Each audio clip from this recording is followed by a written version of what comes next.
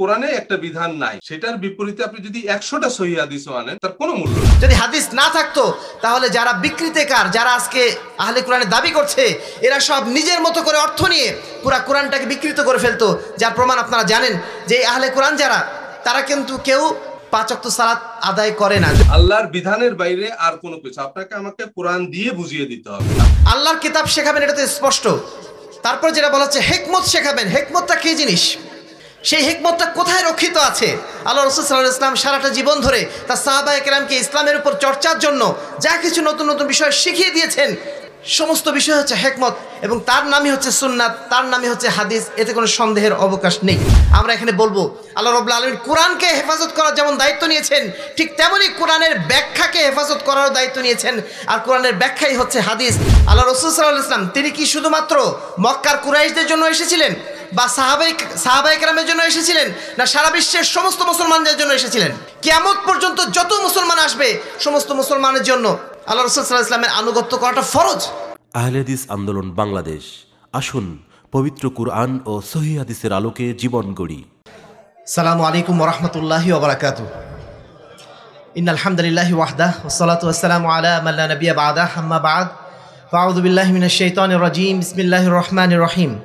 هو الذي بعث في الأميين رسولا منهم يتلو عليهم آياته ويزكيهم ويعلمهم الكتاب والحكمة وإن كانوا من قبل لفي ضلال مبين سورة الجمعة দুই নম্বর আয়াত আহলে হাদিস আন্দোলন বাংলাদেশ কুমিল্লা জেলা কর্তৃক আয়োজিত আজকের এই ইসলামী সম্মেলনের সম্মানিত সভাপতি মাননীয় প্রধান অতিথি সম্মানিত আলোচকবৃন্দ আহলে হাদিস আন্দোলন বাংলাদেশ বাংলাদেশ আহলে যুব সংঘের কেন্দ্রীয় এবং জেলা পর্যায়ে দায়িত্বশীল বৃন্দ কুমিল্লা জেলা সহ অপর অপর বিভিন্ন জেলা থেকে আগত সম্মানিত দায়িত্বশীল বৃন্দ এবং অত্র এলাকার বিভিন্ন প্রান্ত থেকে আগত প্রাণপ্রিয় সুধীমণ্ডলী তরুণ যুবক ভাইয়েরা পর্দা আলে মা বোনেরা। প্রশংসা আল্লাহ রাব্বুল আলমিনের জন্য যার অশেষ রহমতে কুমিল্লা জেলার বুড়িচং উপজেলাতে আজকে এমন একটি সুন্দর পরিবেশে আমরা আল্লাহ দিনের আওয়াজকে বুলন্দ করার জন্য একত্রিত হতে পেরেছি যে আল্লাহ রবুল্লা আলমিন আমাদেরকে এই সুযোগ দানে ধন্য করেছেন। তার উদ্দেশ্যে আমরা আরও একবার শুক্রিয়া আদায় করছি। আলহামদুলিল্লাহ। দরুদ সালাম বর্ষিত হোক, শেষ নবী আহমদ মুস্তফা, মোহাম্মদ মুস্তফা সাল্লাহ আলহ ইসলামের প্রতি।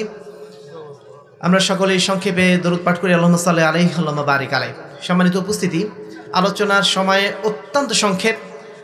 আমরা আজকের এই সংক্ষিপ্ত আলোচনায় যে বিষয়টি নিয়ে আলোকপাত করতে চাইব, সেটি অলরেডি কিছুটা আলোচনা হয়ে গেছে। আপনারা আহলে কোরআন সম্পর্কে নিশ্চয়ই শুনেছেন।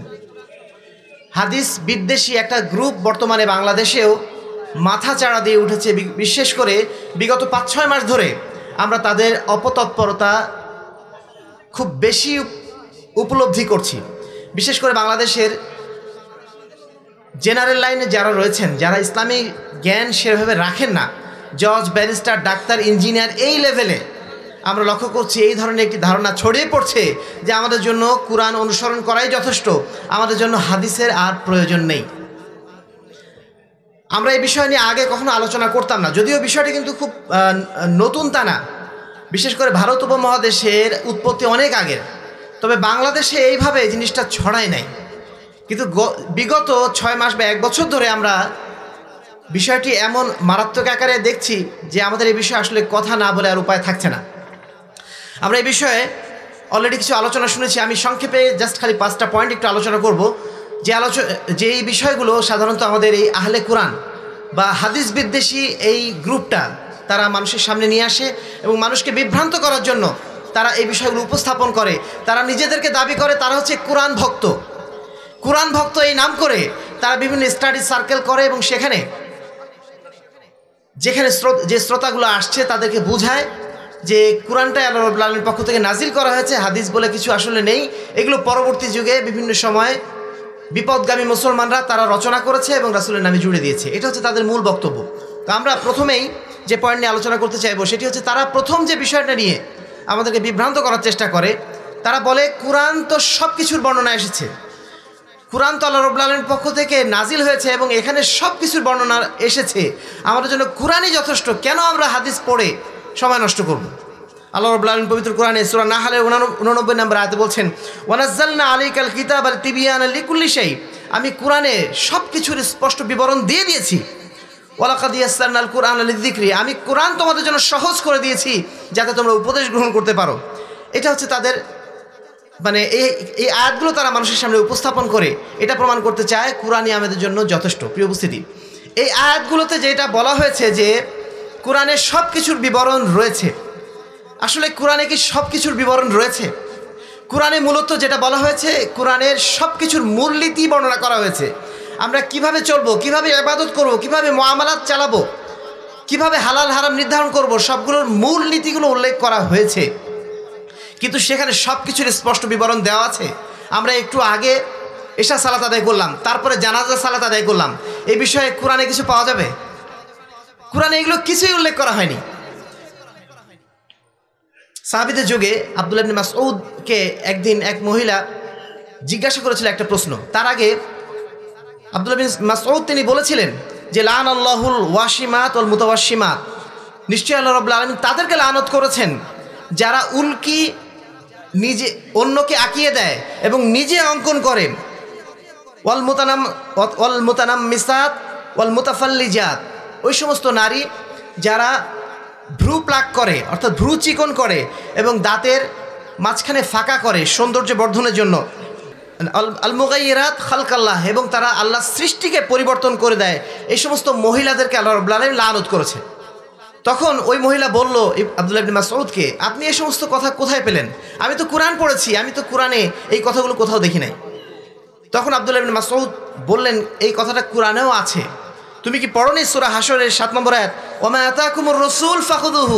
আমার রসুল তোমাদের কাছে যা কিছু নিয়ে এসেছেন, তোমরা সেটার অনুসরণ করো, সেটা তোমরা গ্রহণ করো। ওমান হাকুম আনহু ফান্তাহু। আল্লাহ রসুল তোমাদেরকে যা থেকে নিষেধ করেছেন, সেখান থেকে তোমরা বিরত থাকো। এটা কি তুমি, এই আয়াত থেকে তুমি পড়ো নাই? এই আয়াতে যদি তুমি পড়ো, তাহলে আল্লাহ রসুল্লাহ ইসলামের সমস্ত কথা, সমস্ত বক্তব্য তুমি মেনে নিতে বাধ্য। প্রিয় উপস্থিতি, রাসুল সাল্লাহ ইসলাম তিনি আল্লাহ নবী হিসাবে এসেছিলেন। তিনি শুধুমাত্র তিনি শুধুমাত্র কোরআন কোরআন বাহক হিসাবে আসেন নাই। কোরআন বাহক হিসাবে যদি তিনি আসতেন, তাহলে তার আসারই কোনো প্রয়োজন ছিল না। আল্লাহ রসুল মূলত এসেছিলেন এমন একজন ব্যক্তি হিসাবে যিনি কোরআনের প্রথম ব্যাখ্যাকার ছিলেন। কোরআনের ব্যাখ্যা আমাদের জন্য অবশ্যই জরুরি, কারণ কোরআনের সব কিছুর বর্ণনা দেওয়া হয়নি, শুধু মূলনীতিগুলো বলা হয়েছে এবং তার ব্যাখ্যার জন্য আল্লাহ রসুল সাল্লাহ ইসলামকে পাঠানো হয়েছিল যে আয়াত সুরা শুরুতে পড়েছি, সুরা জমা দুই নম্বর আয়াত। আল্লাহ বলছেন ওয়াল্লাদি বাফিফিল উম্মিনা রসুল আমিনহু নিশ্চয় আল্লাহ রবুল্লা আলমিন যারা মূর্খ মানুষ, যারা অজ্ঞ মানুষ, তাদের মধ্যে একজন রাসূলকে প্রেরণ করেছেন, তাদের মধ্য থেকেই ইয়াতলু আলাইহিম আয়াতিহি, যিনি তাদের কাছে আল্লাহর আয়াতসমূহ পাঠ করে শোনাবেন। ওয়াইজাক্কিহিম এবং তাদেরকে পবিত্র করবেন। ওয়াই আল্লিম হুমুল কিতাব আল হেকমা, এবং তিনি তাদেরকে আল্লাহর কিতাব শেখাবেন। এবং কি শেখাবেন? হেকমত শেখাবেন। আল্লাহর কিতাব শেখাবেন এবং হেকমত শেখাবেন। ওয়াইন কানুমিন কবুল্লাফি দলাইল মুবিন। যদিও তারা ইতিপূর্বে স্পষ্ট পদভ্রষ্টতার মধ্যে নিমজ্জিত ছিল। এ আয়াতে আল্লাহ রব্লা আলমিন বলছেন ইউ আল্লিমহুমুল কিতাব। এই নবী আসবেন, তিনি এসে মানুষকে আল্লাহর কিতাব শেখাবেন। তারপরে অল হেকমা, তাদেরকে হেকমত শেখাবেন। আল্লাহর কিতাব শেখাবেন এটা তো স্পষ্ট। তারপর যেটা বলা হচ্ছে হেকমত শেখাবেন। হেকমতটা কী জিনিস? সেই হেকমতটা কোথায় রক্ষিত আছে? আল্লাহ রসুল সাল্লাহ ইসলাম সারাটা জীবন ধরে তার সাহাবা একরামকে ইসলামের উপর চর্চার জন্য যা কিছু নতুন নতুন বিষয় শিখিয়ে দিয়েছেন। সমস্ত বিষয় হচ্ছে হেকমত এবং তার নামই হচ্ছে সুন্নাত, তার নামই হচ্ছে হাদিস, এতে কোনো সন্দেহের অবকাশ নেই। প্রিয় উপস্থিতি, যদি আমরা হাদিসকে অস্বীকার করি, তাহলে কোরআনের অনুবাদই করতে পারব না। কোরআনের আয়াতগুলোর অনুবাদ করতে গেলেও আমাকে অবশ্যই হাদিসের সাহায্য নিতে হবে। আল্লাহ বলছেন ইন্না সালাতা কানাত আলাল মুমিনিনা কিতাবাম মৌকুতা নিশ্চয়ই সালাত প্রত্যেকটা মুমিনের জন্য। কিতাবাম মৌকুতা সুনির্দিষ্ট একটা সময়ে নির্ধারণ করা হয়েছে। এখন এখানে বলা হয়েছে কিতাবাম মৌকুতা কিতাব মানে তো কিতাব কিতাব মানে তো বই, কিতাব মানে যে ওয়াক্ত, সময়। এটা আপনি জানবেন কীভাবে, বুঝবেন কীভাবে? অনুরূপভাবে আল্লাহ রব্লা বলছেন আল্লাহ দিন আমানু ওলাম ইয়াল বিসু ইমান হম বিজুলমিন উলাইক আলহামুল আমনু। নিশ্চয় যারা ইমান এনেছে ইমান আনার পরে তাদের ইমানের সাথে জুলুমকে মিশ্রিত করে নাই। তাদের জন্যই রয়েছে কালকে আমাদের দিন নিরাপত্তা। এই আয়াতে জুলুম শব্দের অর্থটা কি? জুলুম মানে কি? জুলুম মানে কি অত্যাচার? কোনো ব্যক্তি অত্যাচার করলেই সেই ব্যক্তি কি পদভ্রষ্ট হয়ে যাবে? এই কথাটা সাহাবাইকরাম জিজ্ঞাসা করেছিলেন আল্লাহ রসুলকেও। আল্লাহ রসুল সাল্লাহ বলছিলেন, জুলুম মানে এখানে অত্যাচার করা না। জুলুম মানে হচ্ছে এখানে শির্ক। এই যে জুলুম মানে শির্ক, এটা আমি জানলাম কোথা থেকে? আল্লাহ রসুলের কাছ থেকে তো শিখলাম। এবং এই শিক্ষাটা এসেছে কোথায়? কোরআনে এসেছে নাকি হাদিসে এসেছে? এটা হাদিসে এসেছে, যদি আল্লাহ রসুল সাল্লাহ ইসলামের এই ব্যাখ্যাটা আমি গ্রহণ না করি, বা কি বলি, যদি আমি হাদিসকে গ্রহণ না করি, তাহলে এই ব্যাখ্যাটা আমি কীভাবে গ্রহণ করব? তারপরে আল্লাহর পক্ষ থেকে আরও একটি আয়াত নাজিল হচ্ছে এভাবে, যে আল্লাহ রবুল্লা আলমিন বলছেন, মা কান মোহাম্মদ আবা আহাদিম মিনকুম। নিশ্চয়ই মোহাম্মদ সাল্লাহ ইসলাম কারোর পিতা নন। ওয়ালাকিন রসুল আল্লাহ ওয়া খাতামান নাবিয়িন বরং তিনি হচ্ছেন আল্লাহর রসুল ও খাতামান নাবিয়িন তিনি হচ্ছেন নবীদের মধ্যে সর্বশেষ নবী। এখন খাতাম শব্দের অর্থ কি? খাতাম শব্দের অর্থ হচ্ছে আংটি হতে পারে। খাতাম শব্দের অর্থ হতে পারে সর্বশেষ নবী হতে পারে। আমি এখন কোন অর্থ গ্রহণ করব? এখানে নিশ্চয়ই আমাকে গ্রহণ করতে হবে আল্লাহ রসুল্লাহ ইসলাম যে অর্থ গ্রহণ করছেন সেটাই। এখানে গ্রহণ করা হয়েছে সর্বশেষ নবী হিসাবে। আমাকে সর্বশেষ নবী হিসাবে গ্রহণ করতে হবে। এখানে আংটি নবী হিসাবে গ্রহণ করা যাবে না। প্রিয় উপস্থিতি, এইভাবে কোরআনের আয়াতও যদি আমরা অনুবাদ করতে যাই, তবুও আমাদের হাদিসের প্রয়োজন। প্রিয় উপস্থিতি, যদি হাদিস আমরা না মানি, তাহলে আমরা ইসলামের যে চারটা ফরজ বিধান সালাদ সিয়াম, হজ জাকাত এই বিধানগুলো আমরা জানব কোথা থেকে? কীভাবে আমরা সালাত আদায় করব? কীভাবে হজ পালন করব? কীভাবে জাকাত আদায় করব? কীভাবে সিয়াম পালন করব? কোনোটারই বর্ণনা, ডিটেইল কোরআনে আমরা কখনোই পাবো না। হাদিসে সবই এসেছে। এখন হাদিস যদি আমরা অস্বীকার করি, আমাদেরকে ইসলামী শরীয়তের অধিকাংশ জিনিসই অস্বীকার করে ফেলতে হবে। দ্বিতীয় যে কোশ্চেনটি, তারা বলে যে আল্লাহ রবুল্লাহ বলেছেন, ইন্না নাহনাজ্জালনা যিকরা ওয়া ইন্না লাহুল হাফিজুন নিশ্চয়ই আমি এই কোরআন নাজিল করেছি এবং এই কোরআনকে আমি তাদের জন্য হেফাজত করেছি। কোরআনকে আমি হেফাজত করেছি। এখন এই আয়াতের ব্যাখ্যায় তারা বলছেন যে আল্লাহ রবুল্লা আলমিন এখানে শুধু কোরআন হেফাজত করার দায়িত্ব নিয়েছেন। তিনি হাদিসকে সংরক্ষণ করার দায়িত্ব নেন নাই। আমরা এখানে বলব, আল্লাহ রবুল্লা আলমিন কোরআনকে হেফাজত করার যেমন দায়িত্ব নিয়েছেন, ঠিক তেমনই কোরআনের ব্যাখ্যাকে হেফাজত করারও দায়িত্ব নিয়েছেন। আর কোরআনের ব্যাখ্যাই হচ্ছে হাদিস। হাদিস যদি সংরক্ষণ আল্লাহ রবুল্লা আলম না করেন, তাহলে স্বয়ং কোরআনের অর্থ বোঝাটা আমাদের জন্য অস্পষ্ট হয়ে যাবে।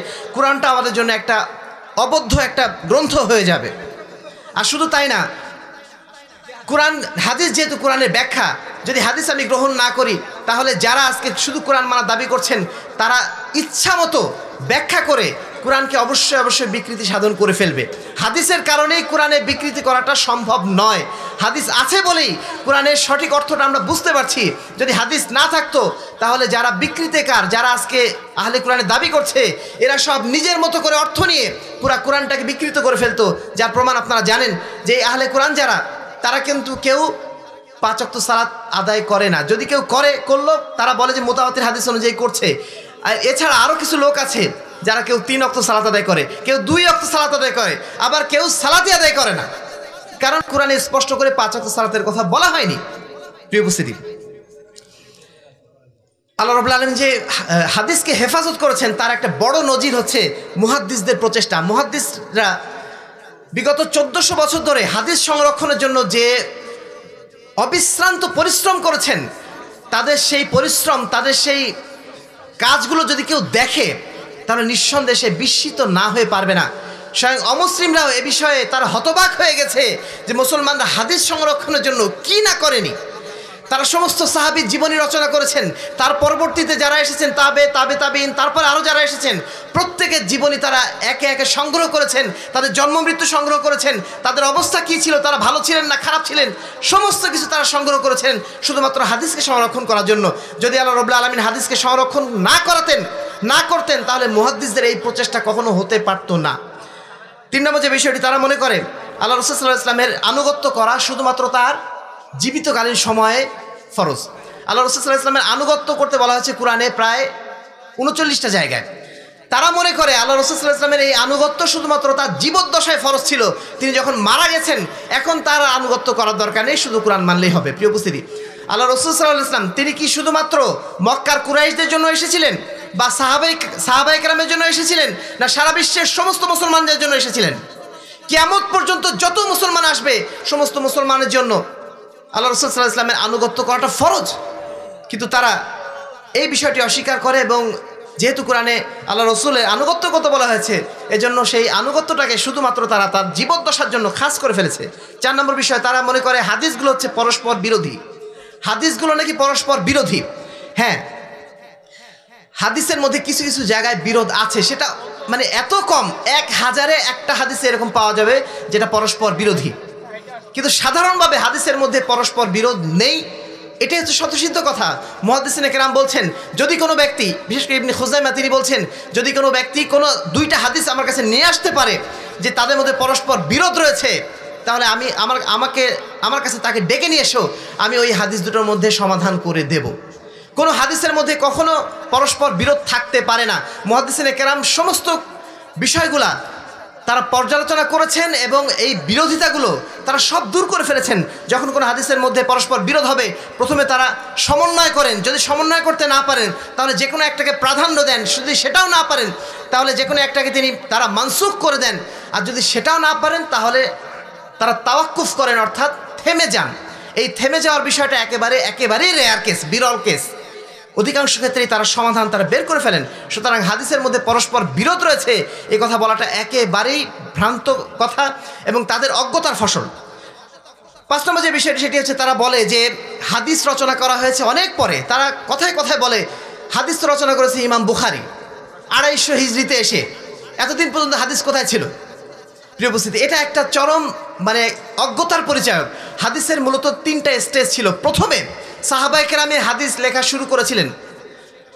সাহাবাই কেরাম যেভাবে কোরআন লিখতেন ঠিক ওইভাবেই হাদিস লিখতেন এক একটা ফলকে অথবা এক একটা সহিফার মধ্য দিয়ে এবং সেই সহিফা পরবর্তীতে সংকলন হয়েছে তাদবিন আকারে এবং সেখানে আরও কিছু গ্রন্থ রচনা করা হয়েছে যেমন মুসান্নাফ আব্দুর রাজ্জাক তারপরে মুসান্নাফ আহ, ইবনা আবি সাইবা এই ধরনের মুস্তান্নাফগুলো তার পরবর্তীতে রচনা করা হয়েছে। সর্বশেষ স্টেজে এসে ইমাম বুখারিরা তারা এসে ওই হাদিসগুলোকে আবার সমন্বয় করে, সংকলন করে তারা অধ্যায় ভিত্তিকভাবে রচনা করা হয়েছে, করেছেন যেটাকে বলে তাসনিফুল হাদিস। অর্থাৎ তিনটা স্টেজে হাদিসকে সংরক্ষণ করা হয়েছে। ইমাম বুখারি আড়াইশো হিজড়িতে যখন হাদিস সংকলন করেন, তখন তার বহু আগে হাদিস সংকলন অলরেডি হয়ে গেছে। যেটা হয়ে গেছে, তিনি সেটাকে শুধু সুসমন্বিত করেছিলেন। একটা গ্রন্থে শুধুমাত্র সহিগুলো তিনি আলাদা করেছিলেন। তিনি নতুন কোনো কাজ করেননি, নতুনভাবে হুট করে আসমান থেকে তিনি কোনো হাদিস নাজিল করেন নাই। প্রিয় উপস্থিতি, আমরা জানি যে কোরআন নাজিল হয়েছিল তেইশ বছর ধরে। সেই কোরআনকে কিন্তু সংকলন করতে অনেক সময় লেগেছিল। আল্লাহ রসুল্লাহ ইসলামের মৃত্যুকালে তিনি কিন্তু কোরআনকে একত্রিত অবস্থায় রেখে যান নাই। একত্রিত করেছিলেন পরবর্তীতে এসে আবু বকর রাজিয়াল আনহু। অর্থাৎ প্রায় তিরিশটা বছর লেগেছিল কোরআনকে পরিপূর্ণ সংকলন করতে। কোরআন তো একটা সংক্ষিপ্ত কিতাব। এইটাকে সংকলন করতে যদি তিরিশ বছর লাগে, তাহলে হাদিস, অর্থাৎ আল্লাহ রসুল্লাহ ইসলামের তেইশ বছরের পূর্ণ জিন্দেগি তার প্রত্যেকটা নকল হরকাত সেগুলোকে একত্রিত করা। সেটা অত্যন্ত জটিল কাজ ছিল। বিশেষ করে সাহাবা একরাম ছিলেন প্রায় লক্ষাধিক। তাদের সমস্ত বর্ণনা একত্রিত করা। এটা কোনো সহজ কাজ ছিল না। আর এ কারণেই হাদিস সংকলন অনেক সময় লেগেছে। তারপর আরও একটা বিষয়। পরবর্তীতে বহু মানুষ হাদিস রচনার চেষ্টা করা হয়েছিল। এজন্য ইসনাদের আবিষ্কার করতে হয়েছিল। প্রত্যেক রাবির জীবনী সংগ্রহ করতে হয়েছিল। ফলশ্রুতিতে হাদিস সংগ্রহ করতে করতে প্রায় এক দেড়শো বছর লেগে যায়। এবং এই জিনিসটা লাগাটা কোনো অস্বাভাবিক বিষয় ছিল না, কারণ তৎকালীন যুগে আজকের মতো লিখলেই প্রিন্ট করে দিলেই বই হয়ে যায়, এরকম কোনো যুগ ছিল না। তখন মানুষ কোথায় কোথায় লিখতো? হাড়ের ওপরে লিখতো। তারপরে কি বলব? গাছের ছালের উপরে লিখতো। ওই সমস্ত জায়গা থেকে সংকলন করে এক জায়গায় নিয়ে আসা, এটা সহজ কোনো কাজ ছিল না। আর আপনি আজকে এসে চোদ্দোশো বছর পরে আন্দাজে বলে ফেললেন যে হাদিস সংকলন বলে কিছু ছিল না। ইমাম বুখারি এসে আড়াইশো বছর পরে এসে নতুন করে নাজিল করেছে। এগুলো হচ্ছে একেবারে অজ্ঞতার পরিচয়ক ছাড়া আর কিচ্ছু না। পরিশেষে আমরা যেটা বলতে চাইব যে হাদিস অস্বীকারী যারা রয়েছেন, তাদের বিষয়ে আমাদেরকে অত্যন্ত সতর্ক থাকতে হবে। বিশেষ করে আমাদের আহলে হাদিস সমাজেও আমরা লক্ষ্য করছি, কিছু কিছু মানুষের মধ্যে এই বিভ্রান্তি নতুন করে তৈরি হচ্ছে। আমাদেরকে অবশ্যই অবশ্যই সতর্ক থাকতে হবে যদি আমরা ইমান বাঁচাতে চাই। যেহেতু হাতে সময় নেই, আমি আর বিস্তারিত আলোচনা করতে পারছি না। তবে একটা বিষয় আপনাদের বলে যাই এই গ্রন্থটা আপনাদের সবার কাছে থাকা উচিত। হাদিস অস্বীকারীদের সংশয় নিরসন নামে হাদিস ফাউন্ডেশন থেকে একটি বই বের করা হয়েছে। এই বইটি আপনারা সংগ্রহে রাখবেন।